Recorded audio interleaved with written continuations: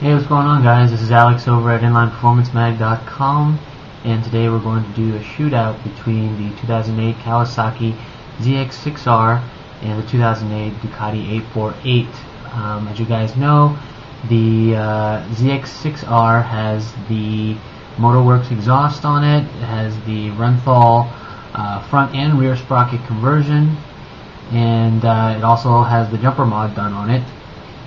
The Ducati 848 has the full titanium Remus system um, with no ECU tuning.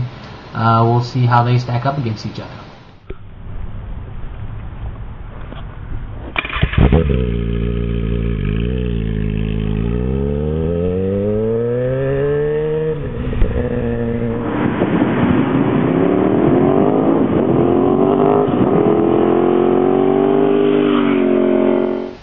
ZX6R is a very high revving, quick accelerating, especially now with the Renthal uh, power up kit uh, bike. Um, it's a lot better on the streets, uh, in my opinion.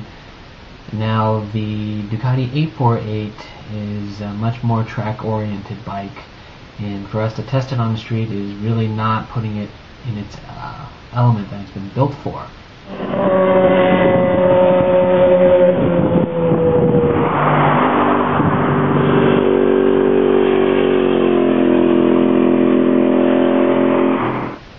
Now as for the brakes, the ZX6R's uh, stock Nissins do its job well. Um, in contrast, the lower spec Brembos on the Ducati 848 are a bit better than the Nissins, but um, as you know, the Ducati is a lot heavier and there's a lot more to stop.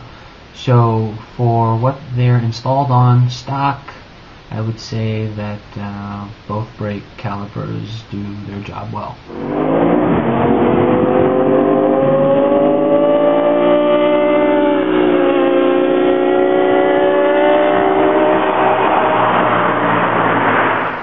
The ZX6R's top speed is 170 miles per hour in stock trim, uh, give or take uh, one or two, just to account for uh, aerodynamics, wind drag, yada yada yada.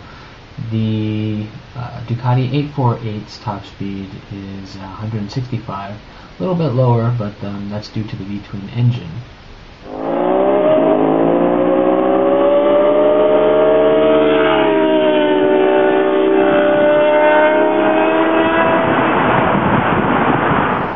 Overall, in this test, we mostly did uh, street riding, and um, the Kawi came out a bit on top, just because it's a more user-friendly bike. It's uh, more forgiving on the street and stop and start traffic. Uh, the Ducati 848 is just so track focused that unless we were uh, riding on the freeway, um, there really wasn't uh, a time where we could use it to its full potential. Um, so as for street riding, I would suggest the ZX6R over the Ducati 848.